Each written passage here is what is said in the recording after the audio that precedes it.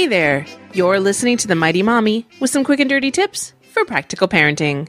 Back in February of 2007, I completed my very first episode of Mighty Mommy. The topic was family photos. Well, here we are in 2009, and it's the holiday season again. And here I am wondering how to get a great picture of my family to put in our annual Christmas letter.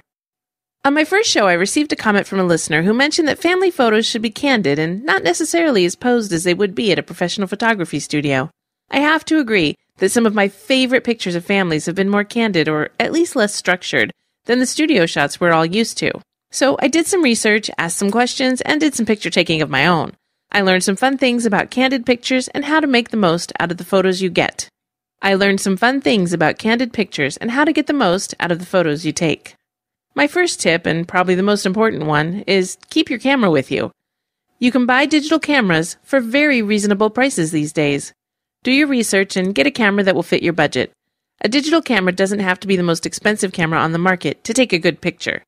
A digital camera will be your best bet for taking lots of pictures without having to spend a ton of money. Using a camera that requires film doesn't allow you to preview the pictures before you have them developed. You never know what you're going to get until you've already paid the developer.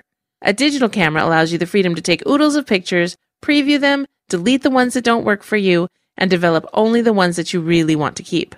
So, keep your digital camera with you and be sure you have it charged or carry plenty of replacement batteries. You never know when that perfect picture taking opportunity might arise. Once you have your digital camera charged and ready, start shooting. Take as many pictures as you can whenever the mood strikes. Go to the park, your backyard, play areas, or visit areas with interesting architecture. You can even set up a mini studio at home by hanging blankets, sheets, or tablecloths in strategic areas. Most digital cameras have timers on them, so make use of this feature for family shots. Family pictures are great when everyone can get into the frame.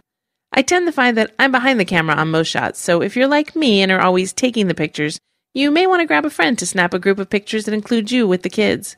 Just make sure to tell your photographer to take as many pictures as possible. The key isn't for every shot to be perfect, it's to take enough pictures that you're guaranteed a few great pictures. My next tip is to employ silliness during your photo sessions. Remember to have fun. The more fun you're having, the more fun your children are most likely having. So sing songs, dance, cuddle, make funny faces, or repeat funny sayings. Natural smiles or laughing smiles are much better than the posed cheesy smiles you usually see in posed portraits. Keep in mind, however, that a smile isn't always required for a great picture. I remember one particular picture of my daughter where we had some tooling hanging around her, and she reached up and pulled some of it toward her face. She sort of looked off into the distance as the picture was taken, and it turned out to be the prettiest picture in the bunch.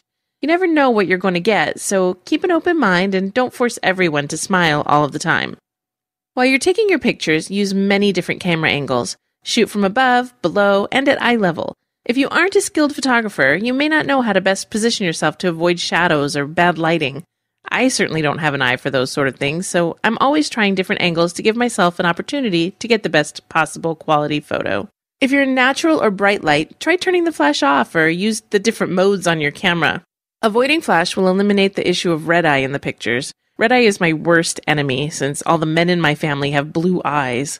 Several photo editing programs offer solution to remove red eye from pictures, but I find that even if I pick Several photo editing programs offer solutions to remove red eye from pictures, but I find that even if I fix the pictures, they often look unnatural. For this reason, I try to avoid red eye as much as possible. Finally, remember that even if you're in a strange location or there are other people meandering by, you can use photo editing software to crop and resize your pictures. If your camera uses SD cards, carry an extra one or two with you in case you fill one up.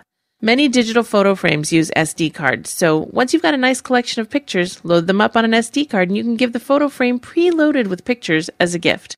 Grandparents and other friends or relatives living out of state will love a great gift like this. So, what are you waiting for? Grab your camera, some batteries, and your family and get snapping. Have a great holiday season and a very happy new year. That's it for now. Thanks for listening. If you'd like to request a topic for the Mighty Mommy, you can email me directly at mommy at quickanddirtytips.com or leave a message by calling 206 202 2185. This is your friend, the Mighty Mommy, wishing you happy and fun parenting.